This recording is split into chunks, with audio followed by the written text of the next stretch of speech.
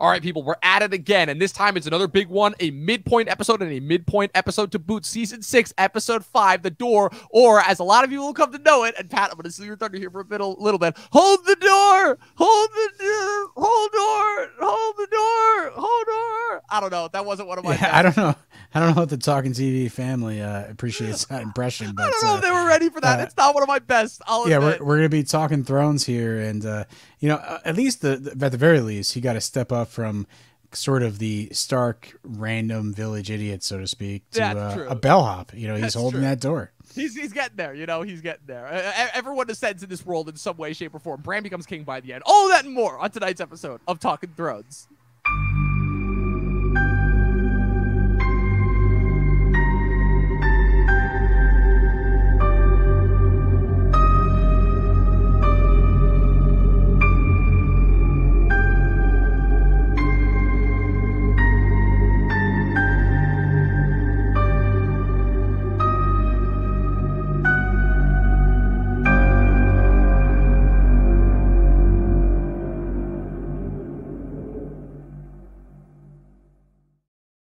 Oh man, I wasn't sure if I gave you an opportunity to capitalize off that, but welcome back, people. It's another. well, the other way I could have taken the joke was uh, what you're talking about, Willis. To Oh, I was uh, waiting reference for that. different I'm strokes. surprised. I'm Um, surprised there wasn't a different strokes reference. You're like prime demographic for that. I feel.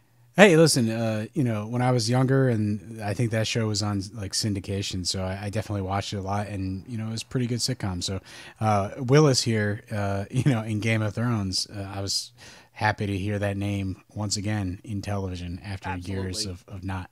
Yeah, it, it's been a while. I feel like Willis has not been has not been well utilized and well capitalized upon. People, obviously, this is another episode of Talking Thrones, but it's a pretty important one. It's a pretty big one. Obviously, in hindsight, you know, season six, episode five, entitled "The Door." This is infamously the episode, the moment, kind of the revelation behind Hodor's condition as a result of Bran, you know, working a little, a, couple places where he shouldn't be, learning the origin of the Night Walkers, and unintentionally inviting them into commit another I'll call it a Hardhome attempt an attempt at replicating the spirit of Hardhome because it's so strange because I'll say that the that the sequence itself is so horrifying in its presentation that it's one of those things where in hindsight you almost remember oh wait Miguel Sapochnik didn't direct this episode you know? Famously this is you know this is the second to last season where they brought in some new guys. You know they famously had Jack Bender direct episodes 3 and 4 who had directed a lo- it was another one of those TV veterans who's directed so many different episodes of television throughout his long career directed a ton of episodes for Lost um, and obviously famously directed the last two episodes. And now we have Daniel Sackheim directing this episode the next, both of which are episodes that have pretty big sequences in them. But like we were talking about, Pat, like so many other things, they're so great for in the moment, but in the long run, what do they ultimately matter? Because as is literally referenced in the next season, when Meera just leaves the show, she literally says, Hodor and Summer died for you. And, and she can't even call him by his real name, Willis. And Bran is just kind of like, yeah, oh, okay, I'm fine. You know, it just kind of pieces out. So, I mean, the, the, the Willis reveal. Obviously, we're going to talk about it in detail at the end of the episode, but it's one of those things that's like where it came in, it was just like one of those, oh shit moments, you know, because it's building off of this crazy big action sequence. And surprisingly enough, it's one of those moments that I feel like has aged poorly for a lot of Game of Thrones fans. Like, I feel like it's one of the things where when you talk to Game of Thrones fans, they're like, some of them are like, yeah, that I thought that was stupid. Why is time travel in Game of Thrones? It doesn't make sense, and especially doesn't make sense here. And, yet- and ultimately, what does it matter in the long run? Because as we see, Hodor's Yeah. death, what does that matter in the long run? the the time traveling stuff was actually awesome when it was introduced and then it didn't really tie into the end game of the show. So uh, that's that's really what the big problem is is like hey remember that season where they had time travel in the show? Oh yeah they got rid of it. You know so uh, that becomes a problem in the uh, last uh, two seasons.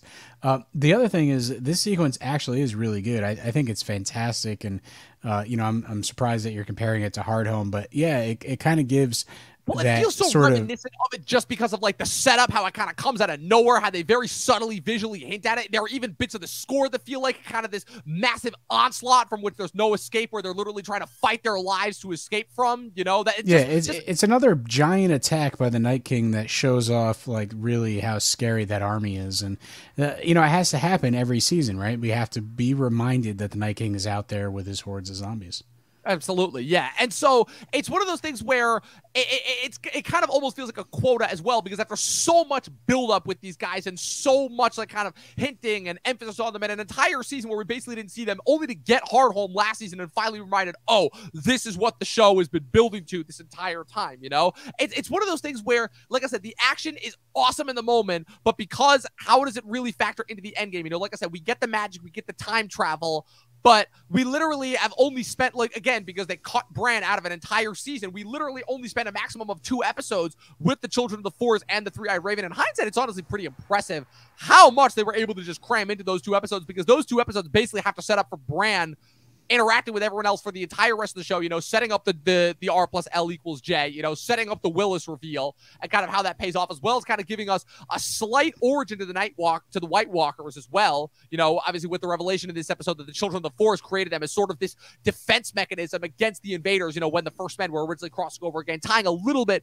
into that awesome lore that was such a prevalent part of the show at one point. You know, I don't know, Pat, what did you think of the Night King reveal, or the origin, I should say, when it was first came in in this episode? Uh, hey, listen, I think there's a lot about this sequence, and you know, obviously, we're going to go into it more in detail at the end of, of this particular uh, podcast episode. But um, I, I like it. I think it's very concise. You know, it basically sums up things really quickly. It's a nice way of tying the Night King and Bran into some sort of you know bigger battle. Like you know, they there are two. Uh, sort of magical figures at this point. He's the three-eyed raven, and it's the Night King. Uh, so Bran's inheriting this history, uh, you know, and all this knowledge about how the Night King was created. And so this is now uh, Bran's burden. He has to see it to the end. And I think there's sort of that handoff of the baton. Um, what I will say is, uh, you know, I found it interesting when you brought up the fact that people sort of hate this moment and don't really like, you know, Hodor slash hold the door and, um, you know, don't like the time travel stuff.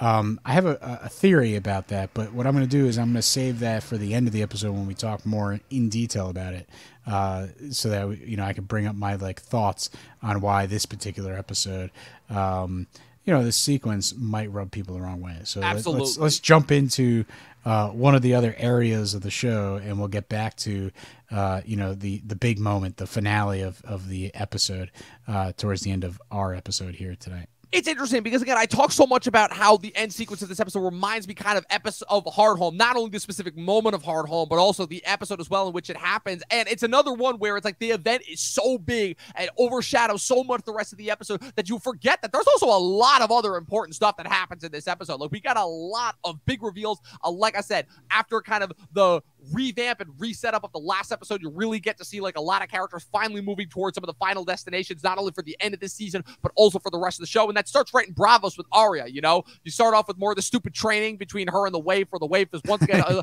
oh, you'll yeah, never more be fist fighting. Us. Exactly, like oh, you'll never be with us. Oh, you'll never be a uh, faceless man. I mean, it, it's like she's reminding me. She's the, she's the the Waif has become the Draco Malfoy of the show. And if this were a kids based property, I wouldn't mind. But because Game of Thrones has gone so out of its way to be so adult and so mature for a, a majority of its run, that it's things like this that when you throw in these little immature, dumb twists, and I'm like, really, what are we doing here? You know? But listen, Dom, I think the Waif is uh, 100% ready for to be a DLC character in a game like Mortal Kombat. I mean, um, she may as well know, already just, be an NPC. So yeah, well, just just like an out of nowhere playable character that has you know the many faces uh, I think Mortal Kombat fans and Game of Thrones fans would be behind that idea. So, you know, I, someone's probably out there in the audience ready yeah, someone's to gotta be. jump on and start a petition for that. But uh, think about it.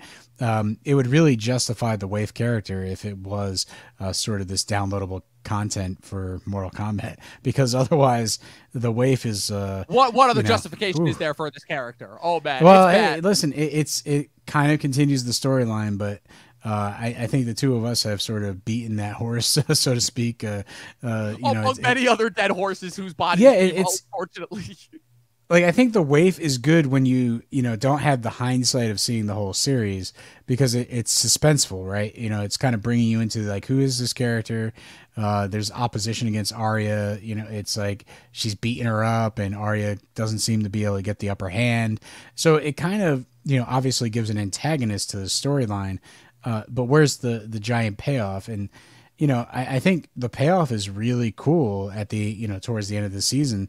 Uh, it's just how they handle it in the next two seasons that becomes like, oh, what What? They just they just pivoted. They just changed the storyline completely. Yeah, completely. Um, so I'm gonna just you know in season six since we're here, I'm gonna live in the moment. I'm just gonna enjoy this. Like you know, uh, the waif is is bringing her internal.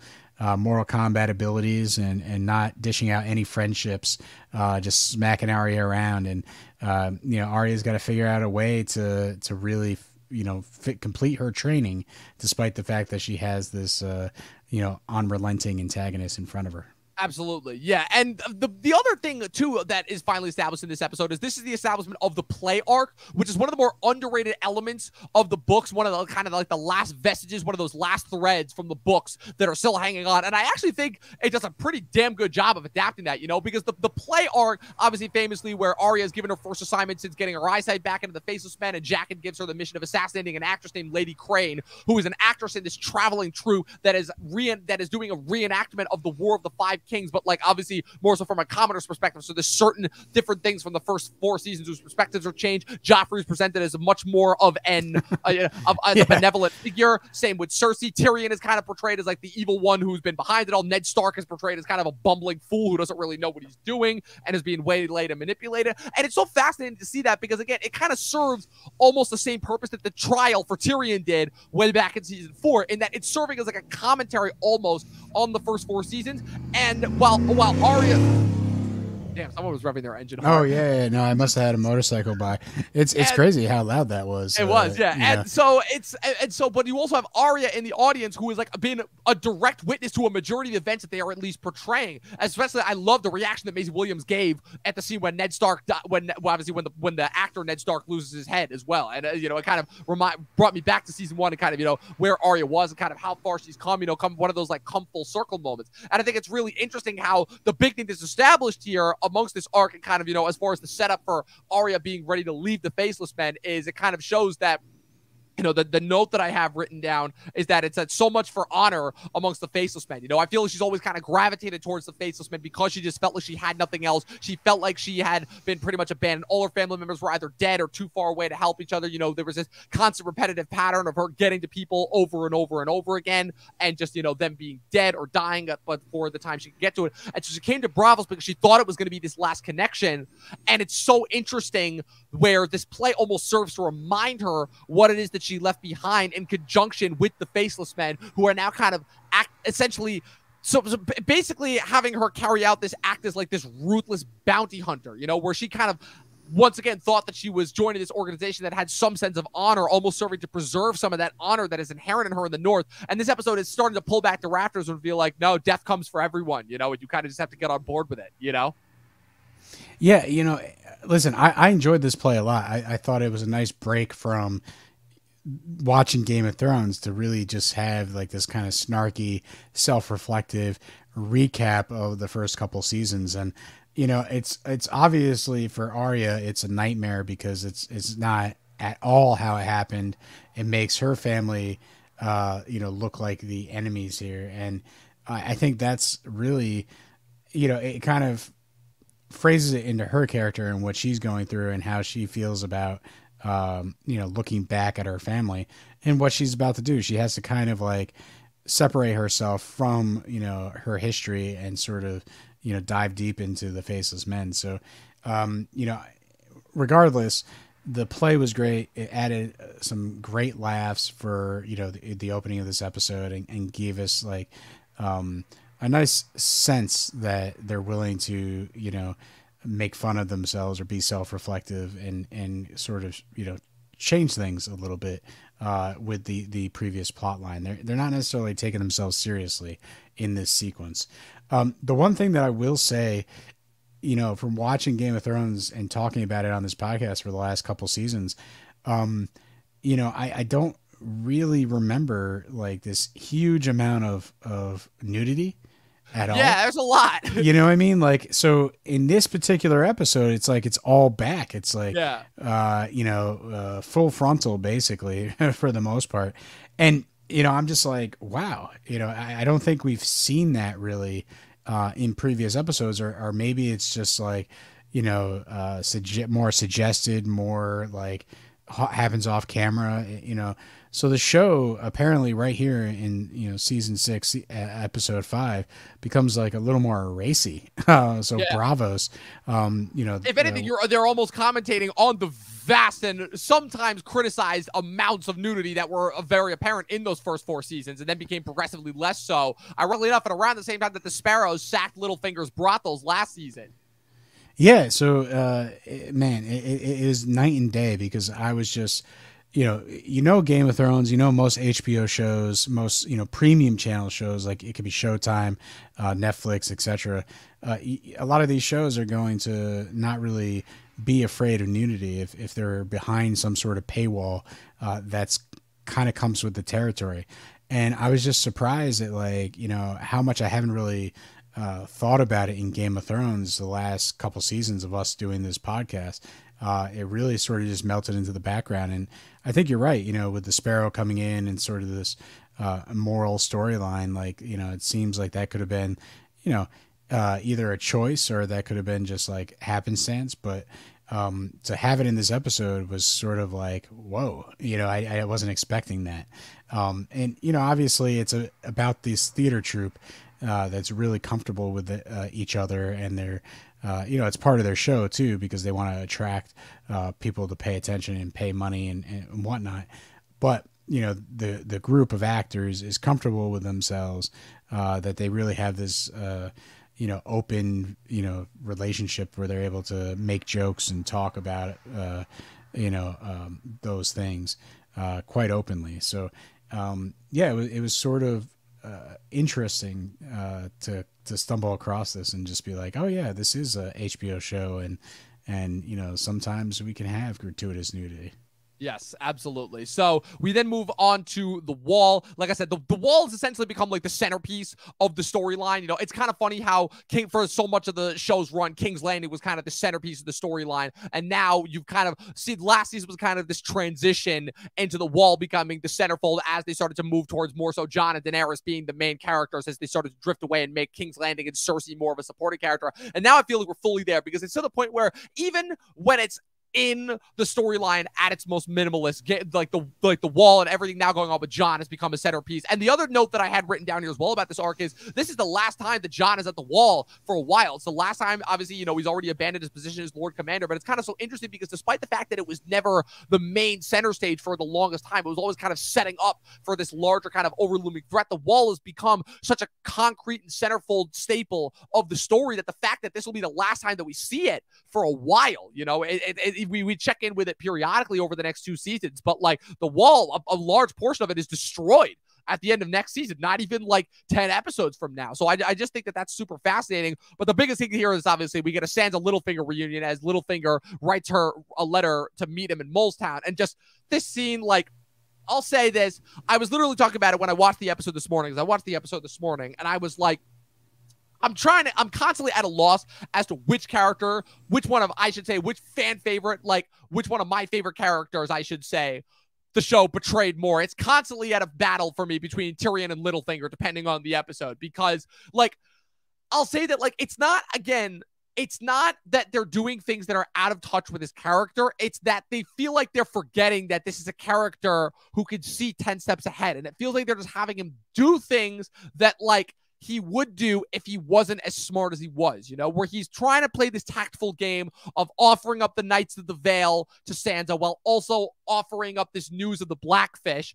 that kind of comes out of nowhere, you know, like there's no setup for it. You don't see him receiving a raven, nothing. All of a sudden, he, he magically just tells her, oh, your uncle, your great uncle, the Blackfish, has retaken Riverrun, and that's an army that you could use, you know. And we obviously see how she later ends up using that in the meeting with Jon and Davos. The biggest thing that's established here is this is the beginning of kind of the real transition from Littlefinger to Sansa as this amazing like strategician. And this is the beginning of Sansa beginning to outwit Littlefinger, kind of use him where she needs to, and then give up. You know, I'll say that the sequence is amazingly well written. Sophie Turner, this is really the beginning to me of like Sophie Turner as like, okay, this is her turnaround. This is Sansa really coming into her own, and she does an impeccable job, I think, with the delivery of that performance as far as like, you know, oh, so you've you've heard, you know, what he did. You know, tell me what he did. Tell me what you think he did to my face. You know, it's this really, I think, I I, I dare not use this word because it's I feel like it's become so overdone and completely misused in today's culture, but it's really empowering to see that in the moment. This character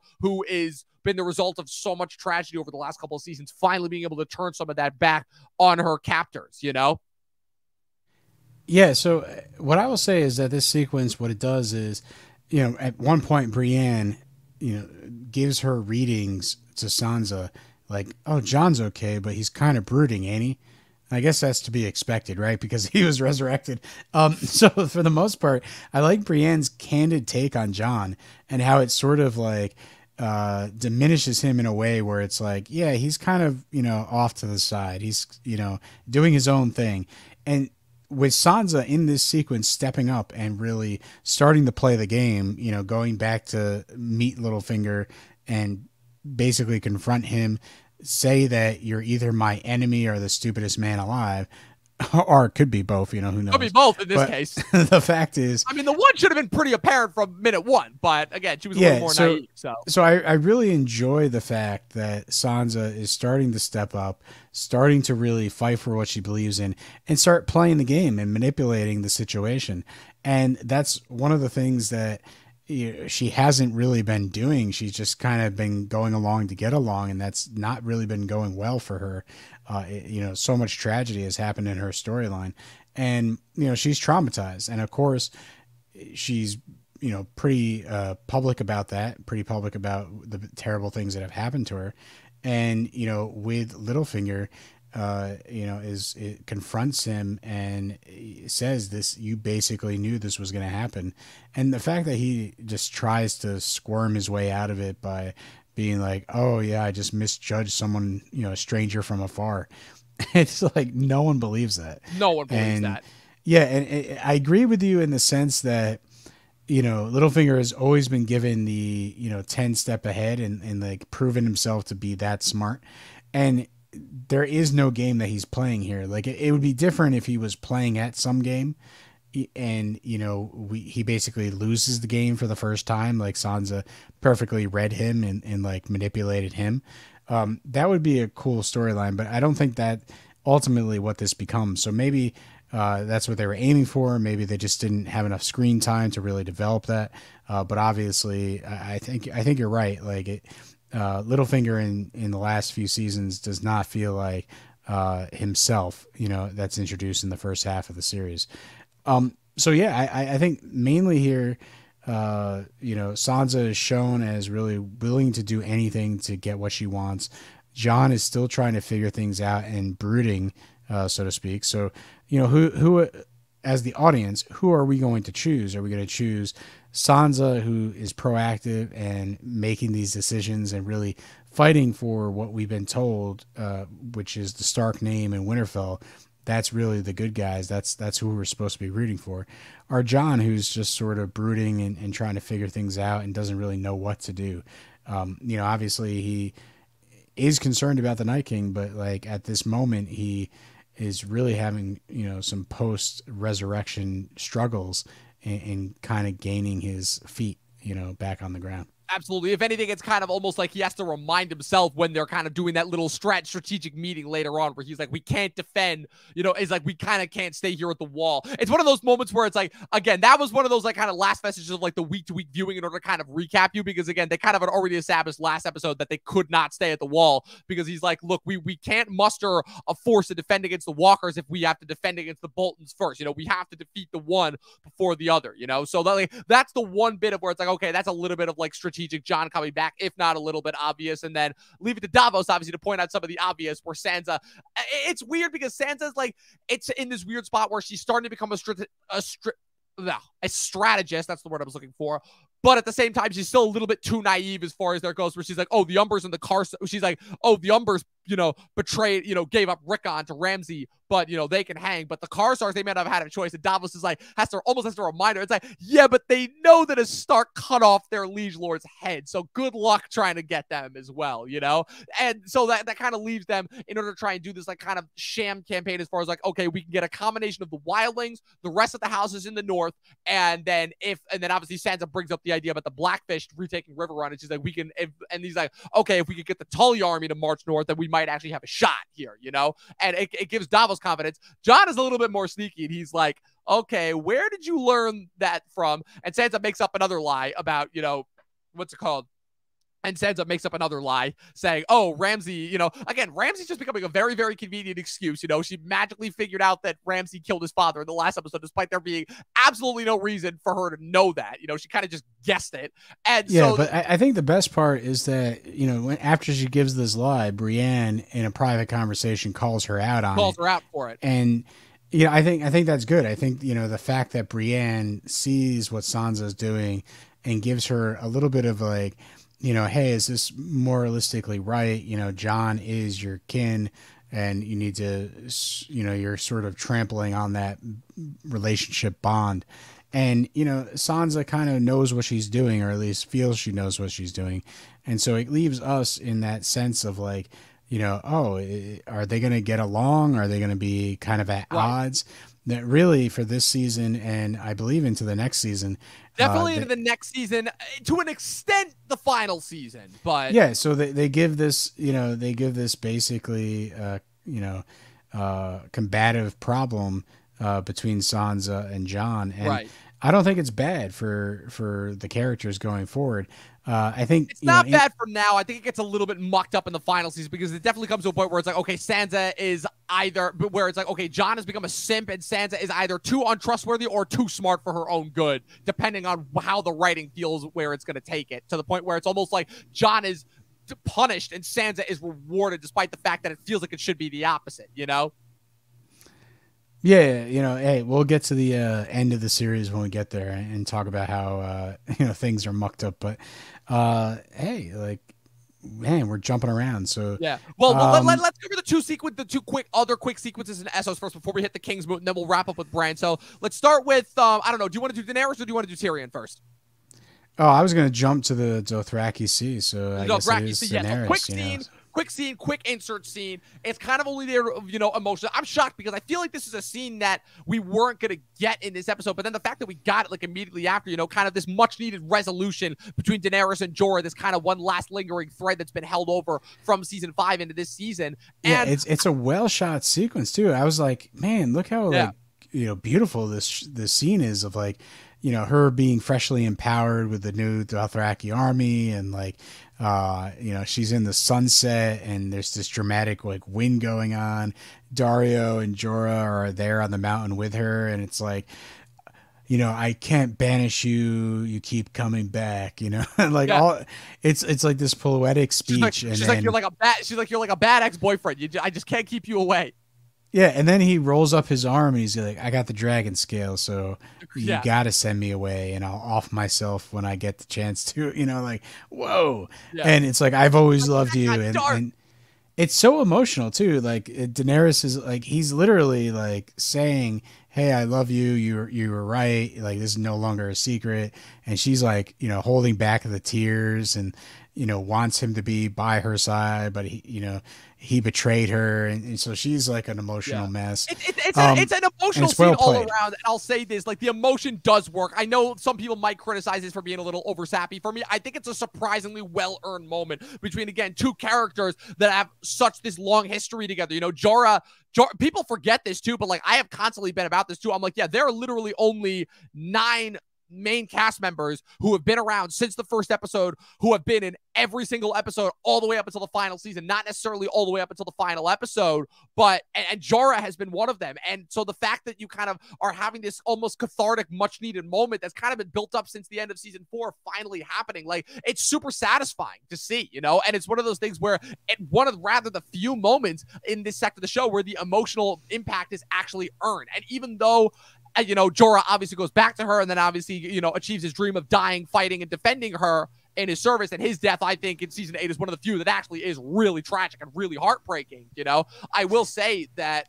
Um, what's it called? I, again, I, I think this moment is well earned and very, very well done. There's not much more I can say about it, and I think that the yeah, no, I, I 100% agree with you. Like this scene is well earned, and the fact is, like we, we're talking about a lot during season five and six. The idea of you know things not really being built up and things coming quick and, and them not having enough screen time, they just kind of like, okay, write this scene and let's get done with it. Let's move on to the next character. And I feel like this particular scene, because we have the character histories, um, they come in in this episode. It's kind of like right in the middle of the storyline. They're kind of on the hill. They're giving this emotional back and forth, and everything just plays really nice. And it's because we, the viewer, are emotionally invested as well into these characters, and we understand the implication of what's being said in this scene. Uh, and it's been set up for you know six seasons. So when they come in and they land a really good scene like this and then bounce you know it works you know it's that's all the hard work that they put in from the previous seasons you know so it, it's one of those things where um, you know some of the characters that had been with us for a long time like osha last uh, you know episode when she got murdered by Ramsay uh, again that was kind of a, a scene out of nowhere uh, not really that much time but like because we know Ramsay we know osha um, you know, I feel like it was a very fitting end to that character uh, because they, you know, acted the way that we come to expect them to act, uh, and it just didn't work out for Osha. So, you know, there's going to be a lot of these scenes that kind of pop in and out, you know, for the rest of the series uh, that are really kind of well crafted, and it comes from all the the history that we have with those characters from the the previous, you know, six seasons or seven seasons, whatever it is when the moments happen of the show. We're, we're kind of vested. Um, so there are a lot of these moments where we're uh, excited to to finally see happen on the screen.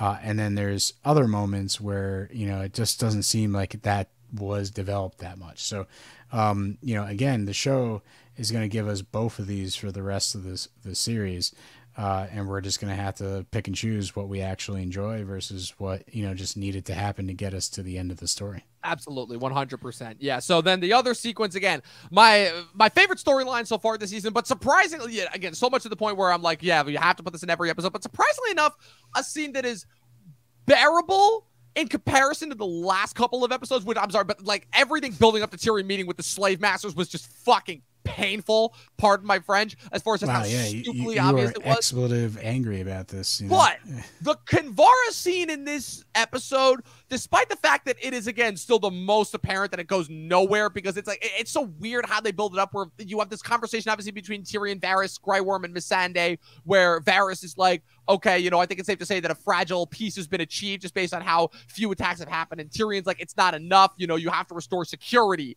You know, they have to believe in Daenerys. And he comes up with this half baked idea to bring in the Red Priestess because of one one off scene that he saw last season at the very beginning of his journey towards Essos, you know?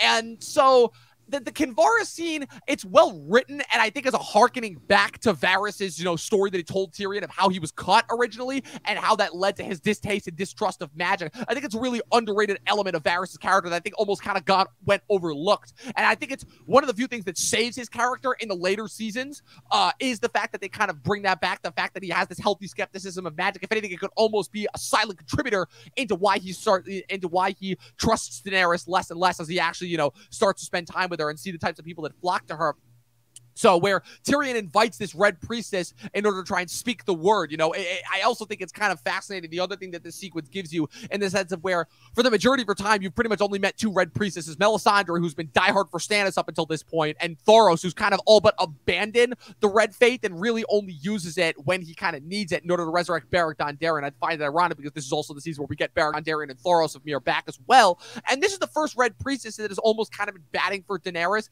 And so even though it's a moment that kind of comes out of nowhere and is like, okay, she's the one that's chosen. And that's kind of one of those like no doy moments since the beginning, but also could be kind of building into that idea that Game of Thrones has propagated since it first came about, which is that, you know, don't buy into the ideas, don't read prophecies too literally because they're open to interpretation and are very often misinterpreted, which is often what leads to, you know, the characters suffering tragic fates when tragedies say otherwise, you know? But I don't know, what did you think of this sequence? Uh, I, I agree that it came out of nowhere, and that kind of disappoints me because I feel like a lot of great writing comes from setting up and paying things off. And you know what kind of I guess saves this sequence is that you feel with Melisandre and Stannis and the whole idea that he was the chosen one and Melisandre was like dead wrong and it, you know he he got executed you know in the north and and really is not going to sit on that iron throne uh, to a certain degree Melisandre was wrong you know and she obviously has chosen a new champion in, in Jon Snow by resurrecting him, and you know. It, really Melisandre's kind of taken a back seat as well. She she doesn't really have her faith anymore, but clearly it's like is it Jon Snow or is it, you know, Daenerys? And I think the introduction of the Red Priest uh, you know, our priestess here basically is showing you that there's two viable candidates for the Iron Throne uh, that the God of Light is backing. And so, you know, if, if, you're watching this show and you have all these different gods and you're, you're trying to believe like which one's real or which ones are active, which ones are just, you know, whatever, uh, the red, you know, priest and priestess um, they essentially have magic, and we've seen that magic, and we know the Lord of Light is out there. So it's kind of narrowing it down to two possible uh, people for the throne. You know, is it going to be Daenerys and is it going to be Jon? And so I kind of like the fact that you're bringing uh, the Lord of Light into Meereen and sort of uh, aligning it with um, Daenerys. But again, it doesn't really go that far, if I remember correctly. Um, it really you know, doesn't. I, I think it's like yeah. you see one brief sequence of a re- another red priestess, and you know, speaking the good word of Daenerys, um, through you know when Tyrion and Varys are walking through the city before Varys mysteriously disappears when before right conveniently before the slave masters start attacking. We'll get to that when we get to what might be my least one of my least favorite episodes of the entire show later on in the scene. But and the crazy part, and really the thing that that I think ultimately makes it a not good scene in hindsight is the fact that Kinvara doesn't ask for anything. She doesn't ask for any sort of payment, any sort of tribute. She kind of just gets a one up on Varys and is like, yeah, sure, I'll come in and do this for you. You know, she is the one who is meant to be. And I don't know. I just feel like there's there's a little bit there. There's certainly a lot of give and not a whole lot of take here, and that kind of always rubs me. well, I just way. I just wonder where they were thinking of taking this storyline. Right, because, and it's very clear you know, to me that they had no intention of taking this anywhere. Exactly. So if you have like someone that's the leader of another interest group, you know, uh, here we have a red priestess, like yeah, they're going to want something, whether it's power or money or, or whatever the case may be, uh, just influence over the crown. And ultimately, nothing happens, you know, it sort of fades into the background. So, um, again, it's it's one of those things where it's kind of intriguing. Uh, you're setting this thing up, and I'm like, okay, yeah, I, I can kind of go with this for a little bit of time, uh, but then nothing really happens. Like, you know, we'll, we'll see. I guess we'll rewatch the rest of the season. We'll we'll see what else um, you know the Lord of Light has in store for Meereen. But from what I remember, it, it's not much. It's not much, exactly. So moving on, so let's get to it. The Kingsmoot. This is a big moment. So this is a big moment for you because you have surprisingly been a much bigger fan of the Ironborn storyline this entire season than I would have. You know, like I said, it's one of those famously. Listen. This is probably the only storyline for me that was awesome in the moment and then kind of got progressively worse and worse as time went on to the point where it even ruined it. And like I said, it all comes in with with the one treatment of really the last character from the book, the last major character from the books that they had to adapt with it being Euron, and then just completely dropping the ball on him. And just based off how the Kingsmoot goes, like I said, this is another sequence that played out already in the books that played out much differently and much later on in the show. And so I have obviously got a lot of expectations going into this that were unfortunately not met just because of how the show would change since its inception. But I don't know. You, you I don't know. I, I can tell this is a moment that you've been waiting for for a while. Well, you know, listen, the the Iron Islands has sort of had a sabbatical for a little bit of time, and and not much has happened. Like yeah, we got you know Euron throwing you know what's his face over the bridge, and you know we got a couple scenes here and there. Balon Greyjoy, rest in peace. Such yeah, a great character. Yeah. Already forgot his name. Yeah, there's no reason to remember him after the fifth season, but uh, hey, uh, you know the the main thing is it, they've sort of been on the back burner. Um, really ever since like uh, Theon got captured and maimed and became Reek. You know, after Yara tried to save him, uh, the Iron Islands have not really been that great of a storyline, and they haven't even they haven't been they haven't even been a storyline. Exactly. So now where they're back, and I think it's coming in a strong way. I think you know it's like Yara goes up and she's like, "Yeah, I want to be the leader." And it's like we've never had a queen, and and why should we choose you when Theon's like literally right, right there? And Theon comes and he gives this grand speech on why Yara should be, you know, the leader. And then Euron comes in and says, well, you know, he of course he wants a woman because you know he's been maimed. You know, like yeah. he, he's more Play, of a woman now than he is a man. School toxic masculinity. Exactly. So again, Euron. He knows his audience and he's playing to it. And the fact is, it's pretty clear that Euron is going to win because you know he's very charismatic. He comes in, yeah, I, I killed the old man. He was leading us down a path of certain destruction, and we would be still on it if it wasn't for me. And all people seem to points. accept I will say that all valid points that Euron does bring up. Like I said, this, this is where I will give Euron credit because as much of a cartoon as he becomes in the last two seasons, at the very least for this season, while they actually still have him as a regular human character, all valid points all around that he brings up. Yeah, yeah. Listen, like Euron is uh, right now a really good character. I think when he meets Cersei and he's uh, trying to seduce her, so to speak, that's when he becomes really a bad, you know, uh, cartoon character. Uh, but like he's like this weird, uh, you so know, strange. Uh, yeah, he this like lustful pirate is basically what he becomes yeah. in in later seasons. Yeah. But uh, the fact is, here it's it's there's a certain code that the Iron Islands has, you know, been shown to us, and Euron is able to charismatically take control and win, and why they're sort of, you know, um, basically baptizing him as the new leader in the the sea. You know, Yara and Theon go and take their supporters, and they steal the best ships in the fleet. Uh, and this leads to Euron basically making his first decree of like, I want you to go home. I want you to chop down every single tree. I want all the women to, you know, basically spin flax for the sails. You give me a thousand ships, I'll give you the world. And, you know, I think it's a really awesome sequence of like, hell yeah, something's going to happen in the Iron Islands. They're entering the game, you know, and, um, again, you know, you read the book, you have a little more insight into who Euron is supposed to be. Uh, you know, we, the Game of Thrones television audience who have not really seen uh, anything, you know, haven't read the books and just know about the show, you know, we're finally getting a character that's like, oh, this this might actually be a charismatic leader that can do some damage at the head of the Iron Islands. Um, and so I think they do that job of really setting us up for what could be something that's interesting. Yeah, uh, I agree. But then so, again, I know my, what happens in next ire with it. So my ire with this storyline, like I said, comes from I will say because this is kind of the last of the linger. I remember last season I was complaining a lot how they were taking a lot of the stuff that was still in that were still major storylines of the books and either compressing them or into one and rushing past them or kind of dragging them out to the point where they just became like unbearable. And this and what's so weird about season six is so much of season six is past season five, but there's still a couple of loose lingering threads left over from the book, like everything going on with Sam on his journey to Braavos for the most part, everything going on with Arya and everything going on with the Kingsmoot and the Ironborn in this season, with the exception of Theon going home, is still very much mired in stuff that is going on in between the Feast for Crows and a Dance with Dragons. And so, what's confusing for me about this scene is that is that constantly I, I've tried my best to get past it, but I just cannot get past the fact that this happens at a totally different time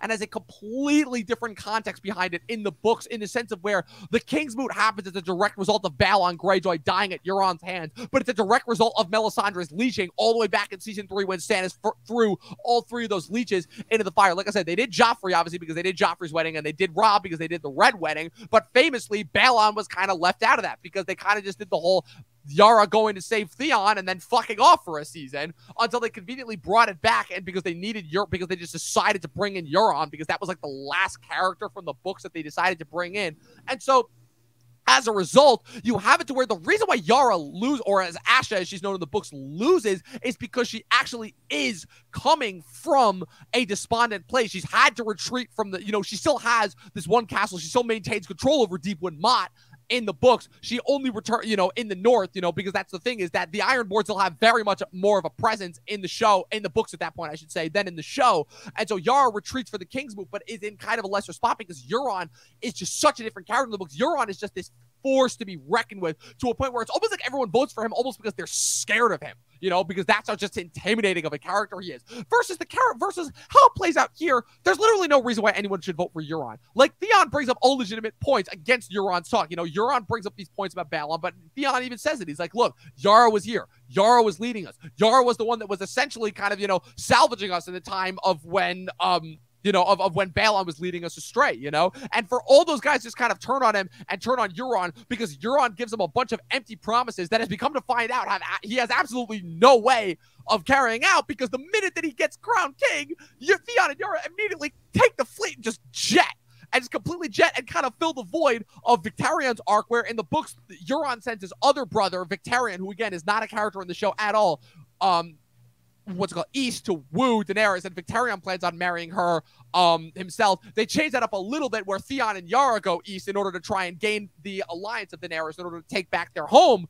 from Euron. So that context it kind of works, but it's like just it all revolves around Euron to me, and it all falls apart because again the cracks are already showing because all that he's full of is empty promises, and he's literally stripped of his ability to do anything for the rest of the season because they're like, okay, we got all these other storylines to wrap up, so we're gonna kind of leave Euron there and then bring it back at a later point. So that's kind of what wrecks the Kingsmoot for me, and kind of makes it, it really the whole Ironborn storyline kind of uninteresting. You know, I'm not saying there was never a chance for them to have a great arc, but it's just like it's it's kind of the one of the last vestiges of okay, I'm seeing what this is, but this could have been so much more awesome, you know? And that's kind of the problem that I consistently have with it. So, yeah, no, right I back- agree with you. It, it, for the most part, it, you know, from a standpoint of like this is your first watch through, you're kind of like in the mode where you're like, let's go, Iron Islands, it's finally going to happen.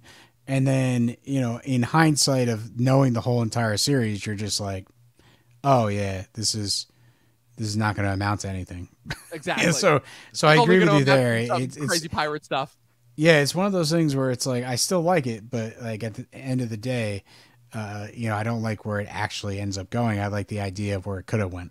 Exactly, exactly. So let's get back to it. You know, we get back to the main. sequence. Like I said, we, the main sequence, the main talking point, the title point of this episode. Like I said, the door, obviously, as is revealed about the Hodor reveal. We talked about so much of this in the first half of this episode that I don't know how much more we have to say. But I will say that again, this the the kind of the build up to it, where it, kind of happened as a result of Bran working out a little bit too far just because he's kind of impatient and bored and doesn't feel like the three eyed raven is teaching him at like a commendable rate, which I will say I understand where he's coming from because he's a young, horny teenager and the three eyed raven is like this 80 year old dude who's literally spent most of his life, uh, you know, in stuck in a tree, just kind of daydreaming and drifting and seeing the world. It's one of those things where in hindsight, I'm not really sure what the purpose of the three eyed raven serves, where he's kind of this collective knowledge and wisdom of the entire world, but at what service, you know? Because the minute that the, that the Night King gets access to him, he just immediately kills him, you know? know? So that Well, I think this the storyline is that he, you know, obviously can work through time and you know he can also work and control creatures and whatnot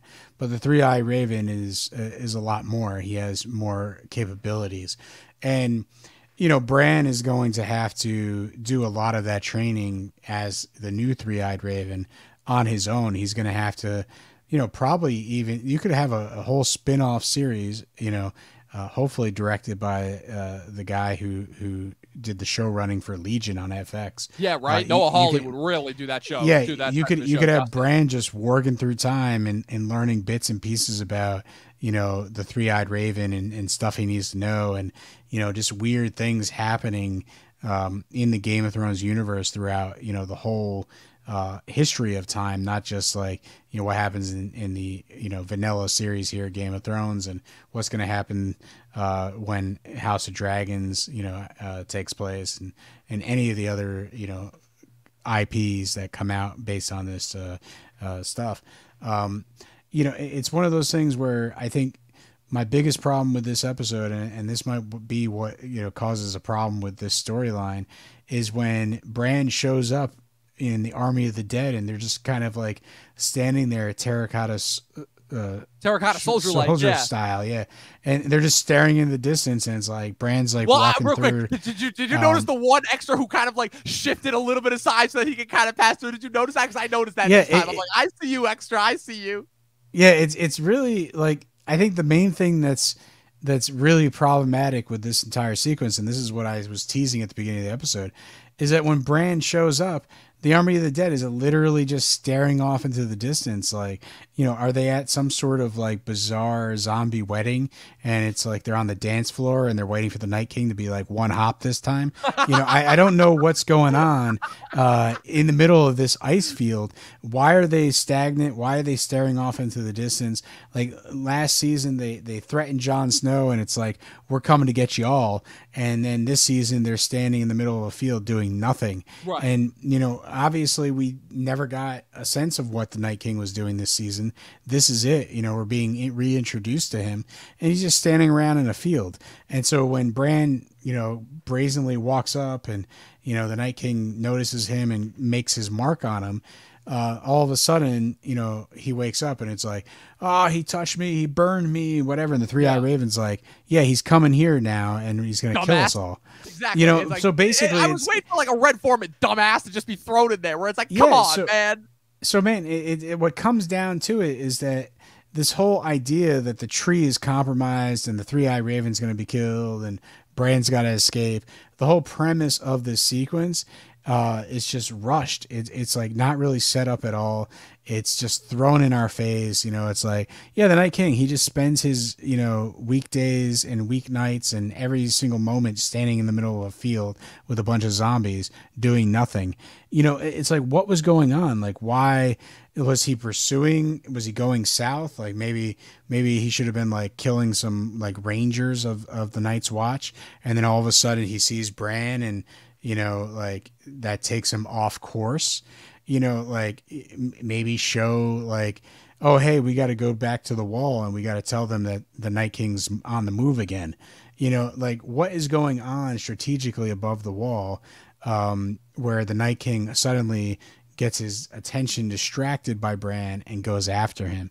You know, because uh, you know the whole idea that the Night King is interested in Three Eyed Raven and Bran is very interesting. The the whole backstory, like you Right. said, where the children of the the forest created the Night Walkers, like all that stuff is awesome. So at almost end out like like almost like this inter- this interesting kind of revenge quest where it's like okay you know we're on our quest of just slaughtering everything in our path every living thing in our path. We can kind of take a little bit of extra you know joy in in being able to essentially you know turn on our creators you know? Like I, I like I said that's the one thing that kind of saves this arc is the fact of learning that the White Walkers were essentially kind of this fail-safe weapon system that ultimately just kind of got out of control you know? It kind of reminds you of so many different like bad Steven Seagal and Sylvester Stallone movies from the 80s where it's like, you know, they're the baddest guy there that's being sent to take down the other baddest guy there. But then it turns out that the baddest guy that they're being sent to take down was really the first project, you know?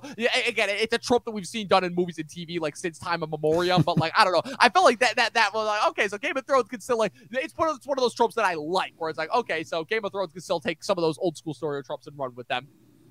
Yeah, listen, you know, I think this sequence, um, you know, really kind of comes out of nowhere. We don't know why the Night King is is interested in Bran and the Three Eyed Raven.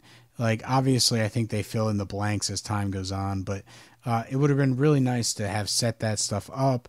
Really set up that you know what does it mean that the Night King is switching directions, his attention away from the wall and going after Bran? Like, you know, does that allow you know some for pressure to be released from you know the wall, and that allows you know Jon and Sansa to really take that moment to go south and deal with the Boltons. Um, you know, so like. I I think there's a little more story complexity that could be involved here. It just kind of seems like it's just thrown in there.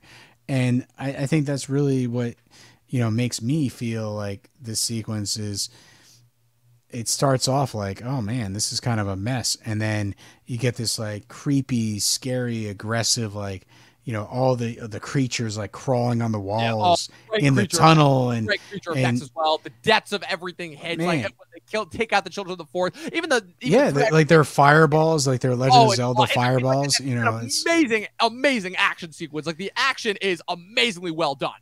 Exactly, and you know, and then we get to the point where like Bran is staying too long in the vision again, uh, to the point where he sees the three-eyed raven disappear in one of the coolest Right. uh, effects that they have in the show. It's pretty Um, awesome.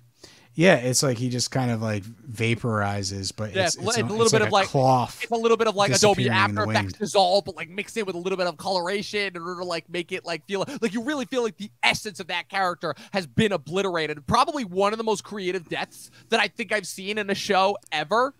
Yeah, and then you have uh, you know, everyone like uh Willis is there and he's starting to pay attention to Bran.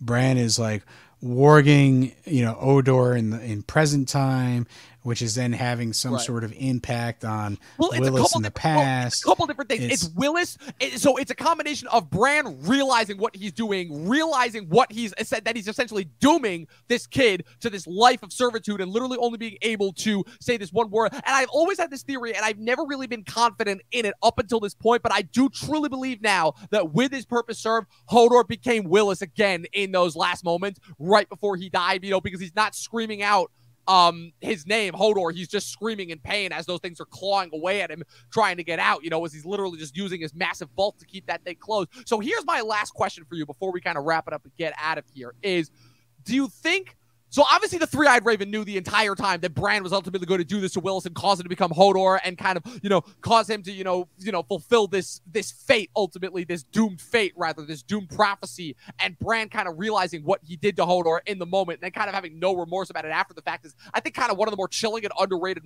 moments. But do you think that Willis saw Bran and that's what started to cause him to go nuts? Or do you think it was a matter of Bran working into Willis. Because what's so fascinating about the working is that whenever we see Bran warg into someone, we always see his eyes go up. But Bran was already technically in whatever that warg space flashback dream vision is, and we never see Bran warg. We only see Willis slash Hodor's eyes warg. So like where do you think the connection comes from? That's kind of like one of the last like looming threads. It's almost like Damon Lindelof esque how they carry it out. I feel like it's. I feel like I'm wondering if there was some consultation of Damon Lindelof that happened because this was that because season six of Game of Thrones happened on an off season. You know, the leftovers had just finished its second season at that time, and I know the leftovers tackled some of the similar things that lost it, although not as many. So I just wanted your take on that because it's something that I've yeah. constantly wondered about for me, my take is that you know, in reality, in the snow, Bran is already sort of warging uh, into the past, and you know, at some point, he controls Hodor into the present, and so it's all he's he's using his ability from the present, and when he uses it, when he's doing two things at once, be, being in the past. And also warging, you know, Willis in the, you know, or Hodor in the present uh, that inadvertently carries over into the past. And because we see young Willis sort of, you know, do the, the warg eyes into his back of his head. Um, and for some reason, when Meera's screaming, hold the door, hold the door, hold the door, um, you know, Bran at this point is a conduit, uh, not only to present day Hodor, but to past Willis.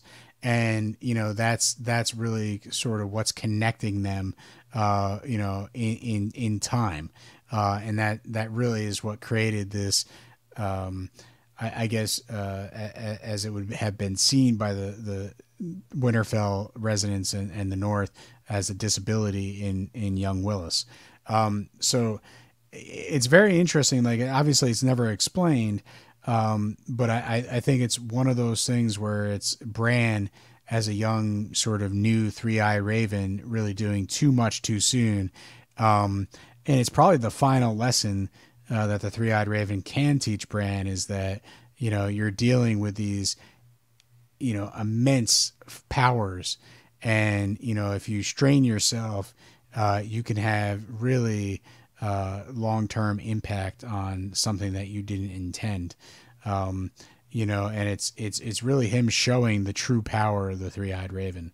Absolutely, yeah. So, and like I said, unfortunately, despite the fact that it is not at all talked about. But like I said, it's a lot of deaths. We say goodbye to a couple of different legacy characters. Obviously, again, I was even keeping track. I'm like, yeah, because Hodor's death is so impactful that it almost overshadows Summer, who also unfortunately meets the end of his life. And I'm realizing, I'm like, oh my god, that's it. That's the last. You know, the of the six original direwolves, there are only two left now that are alive, with Summer and Shaggy Dog both meeting their ends this season. You know, with Ghost obviously still with Jon somewhere, although he hasn't been seen at all since episode two. And then obviously, you know, Nymeria, who is wa- wandering around in the wild, but also, you know know, the, we who we see briefly in the following season. Those two obviously make it through the show alive. But yeah, so RIP to Summer, RIP to Hodor, two legacy characters that we've literally been with since season one. RIP to the Three Eyed Raven, the Children of the Forest, and like I said, it's a big moment. It's a lot of big deaths, and it's only setting up for the last half. Like I said, we're through the first half and officially into the second half of season six. So be sure to keep tuning in as we wind down. Like I said, we've only got three more weeks until Battle of the Bastards. I cannot wait to recap that. But in the meantime, Pat, where can the good people follow you on the interwebs? Oh no, you muted out. Your mic cut out.